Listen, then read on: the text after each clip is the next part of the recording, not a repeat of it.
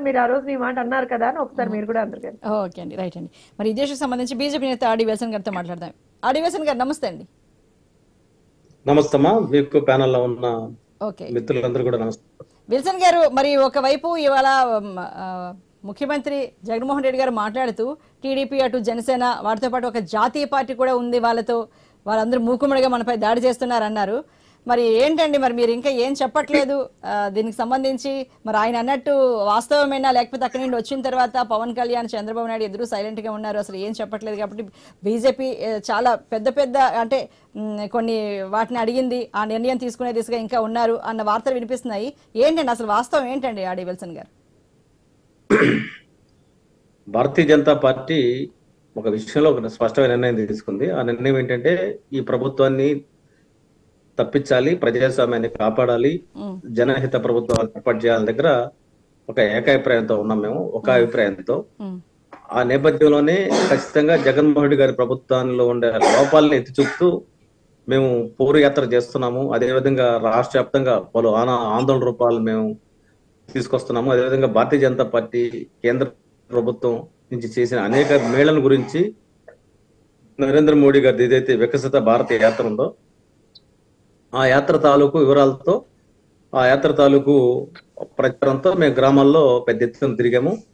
ఆ యాత్ర వాహనాలు అన్ని ప్ర- అన్ని గ్రామాలు కూడా సందర్శించాయి. తర్వాత పల్లె నిద్ర పేరుతో కూడా మేము మరి అనేక గ్రామాల్లో వేలాది మంది బీజేపీ కార్యకర్తలు కూడా మేము అక్కడ పార్టిసిపేట్ చేసాము ఇప్పుడు క్లస్టర్ మీటింగ్ జరుగుతున్నాయి. ఈ రోజు కూడా నెల్లూరు జిల్లా వేదికగా ఐదు జిల్లాలకు సంబంధించిన క్లస్టర్ మీటింగ్ మరి చౌహాన్ గారు కూడా అక్కడ పాల్గొంటున్నాడు. ఇప్పుడు ఇక్కడ బేసిక్గా మేము చెప్పదలుచుకుంది ఏంటంటే భారతీయ జనతా పార్టీ ఇండిపెండెంట్గా పోవడం కోసం పనిచేసుకుంటా ఉన్నాం మేము. తర్వాత నూట డెబ్బై ఐదు నియోజకవర్గాల్లో పాతిక నిజంగా అంత బలం ఉందండి. నూట డెబ్బై ఐదు నియోజకవర్గాలు పోటీ చేస్తారు ఓకే. ఎవరమైనా పోటీ చేస్తాం ఎందుకు గెలుపు సాధించాలనే దిశగా అధికారాన్ని చేజిక్కించుకోవాలనే దిశగా. నిజంగా భారతీయ పార్టీ భారతీయ జనతా పార్టీ అక్కడ ఆంధ్రప్రదేశ్లో అంత బలం ఉందని భావిస్తున్నారా? ఎందుకంటే తెలంగాణలో చూస్తే ఖచ్చితంగా నెంబర్ వన్ రేస్లో ఉంది. అలాంటి థర్డ్ ప్లేస్లోకి వెళ్ళిపోయింది. మరి అంతగా తెలంగాణతో పోల్చుకుంటే ఆంధ్రప్రదేశ్ ఎంతైనా కాస్త తక్కువే కదండి? బలం బలగం. మాకు శత్రువులు ఎవరంటే వైసీపీ తెలుగుదేశం పార్టీ లేకపోతే ఈ జ- ఇతర రాజకీయ పార్టీలు కాదు. మాకు శత్రువులు ఎవరంటే మీడియా. ఎందుకంటే మీరు అంటే మీరంటే మీ ఛానల్ మీరే కాదు. మా శత్రువు ఒక్కడానికి మీకు బలం లేదని చెప్పడానికి శతదా ప్రయత్నం మాట్లాడుకోవాలి కదండి. ఏదన్నా సరే. ఎలా ఎలా హౌ హౌ సార్ ఇప్పుడు ఆంధ్రప్రదేశ్లో రాజధాని మేము. నేను చెప్పనండి. రాజధాని ఇచ్చింది మేము. ముప్పై ఐదు ఎకరాల జింగిల్ క్రీన్స్ ఇచ్చింది మేము. పోలవరం డెబ్బై రెండు శాతం కట్టడానికి కారణమైంది మేము. నాలుగు ఇండస్ట్రియల్ కారిడార్ ఇచ్చింది మేము. దాదాపు రెండు వేల ఐదు వందల కోట్లు ప్రత్యేక ప్యాకేజ్ దానికి ఎంత ఇచ్చారు? మేడం. ప్రత్యేక ప్రత్యేక హోదా చేస్తామంటున్నారు ఒక పక్క. ఇంకో పక్క వైజాగ్ రైల్వే జోన్ అంటారు దాని ఊసు ఉండదు సార్, నేను నేను చెప్పడానికి చెప్పేది చాలా నేను ఉన్నాయండి చెప్పేది- అసలు. అడగడానికి చాలా ఉన్నాయి ఆంధ్రప్రదేశ్ ప్రజలకు ప్రజలు మిమ్మల్ని. నేను చెప్తున్నా కదా మీరు మా శత్రువులని. నేను చెప్పిన తర్వాత మీరు స్పందించండి మాకు అర్థం ఓకే. ఎందుకంటే ఆ, ఇప్పుడు ఎందుకంటే ఆ, మీరు అడిగిన దాంట్లోకి వద్దాం అమర అమరావతి ప్రత్యేక హోదా ప్లేస్లో ప్యాకేజీ ఇస్తా ఉన్నాము. ప్యాకేజీ గారు చంద్రబాబు నాయుడు గారు ఒప్పుకున్నారు. థర్టీ నుంచి ఫార్టీ పర్సెంట్ రిజర్వేషన్ ఫండ్ పెరిగిన తర్వాత మేము ఏ దేశంలో ఏ రాష్ట్రంలో కూడా ఆ పేరుతో నిధులు తలుచుకోలేదు కానీ ప్యాకేజీకి ప్రత్యేక హోదాకు ఒప్పుకున్నాం కాబట్టి అంటే ప్యాకేజీకి ఆల్టర్నేటివ్గా ఒక వెయ్యి రూపాయలని రద్దు చేస్తే రెండు ఐదు ఇచ్చినట్టుగా మేము ఇవ్వడానికి సిద్ధపడ్డాము. మొత్తం యాస్టీజ్గా ఏదైతే ఉందో ఈఏపీ నిధులు ఇవన్నీ కూడా ఇవ్వడానికి మేము సిద్ధపడ్డాము. అవన్నీ తీసుకోవడానికి సిద్ధపడి వెనక్కి వెళ్ళింది ఆ రోజు ఆ ప్రభుత్వం. ఈ రోజు కూడా వీళ్ళు అడుగుతుంది వైసీపీ వాళ్ళు బీజేపీ ప్రభుత్వం బలం తగ్గితే అప్పుడు ప్రత్యేక హోదా అడుగుదాం అన్నాడు ఆయన. కాబట్టి ఒక్క సీటు మేము ఒక్క సీటు తోటే ప్రభుత్వాన్ని కోల్పోయిన చరిత్ర భారతీయ జనతా పార్టీది. కాబట్టి ఒక విధాన నిర్ణయం తీసుకున్నాం కాబట్టి ఆ విషయంలో మేము ఒత్తిడి గురయ్యాము. లేకపోతే మా మీద నిందలు మోపారు.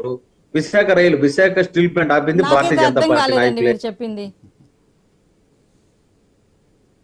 అడగండి. ఏం అడగ ఏం చెప్పంటారు మళ్ళా? ప్యాకేజ్ ప్రత్యేక ప్యాకేజ్ స్పెషల్ ప్యాకేజ్ అన్నారు చంద్రబాబు నాయుడు గారు. దాన్ని తీసుకోవడానికి నిరాకరించారు. మొత్తానికి ఏదో సమయం అయిపోయింది. ఏదో అది వదిలేయండి.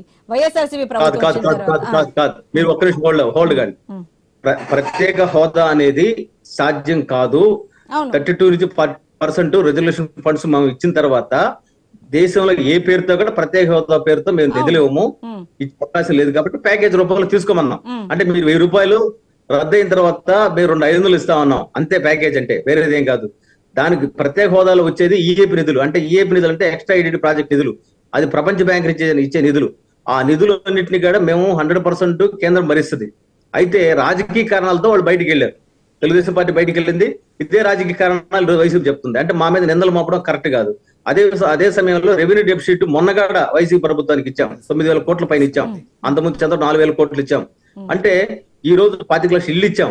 అదే విధంగా నరేంద్ర మోడీ గారు దరిదాపు రెండు సంవత్సరాల పాటు వచ్చి బియ్యం ఇచ్చాం. మరి ఇన్ని ఇస్తే ఇంకా ఏమీ లేదని ఎట్టంటారు?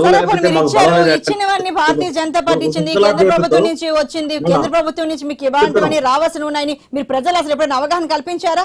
అంటే అలాంటి ప్రచారం నేను చెప్పేది చేశారా? గుజలా పేరుతో వాళ్ళ ఆహా, హక్కులు అదే ఏంటో, వాళ్ళ- చెప్పేది, అదే వాళ్ళకి. రావాల్సినవి ఏంటో? చెప్పేది ఉజలా పేరుతో మేము గ్యాస్ ఇస్తున్నాం. అదే విధంగా దేశంలో ఇప్పటిదాకా పదకొండు విద్యా సంస్థలు ఇచ్చిన చరిత్ర లేదు. ఈ రోజు అమరావతిలో నలభై ఐదు కేంద్ర సంస్థలు ఇచ్చాం. ఇవన్నీ చేసింది బీజేపీ కదా? బలం లేదంటే ఏంటి? ఎన్ని జనాలకు తీసుకెళ్ళండి మీరు? మీకు టీడీపీ రావాలనో వైసీపీ రావాలనో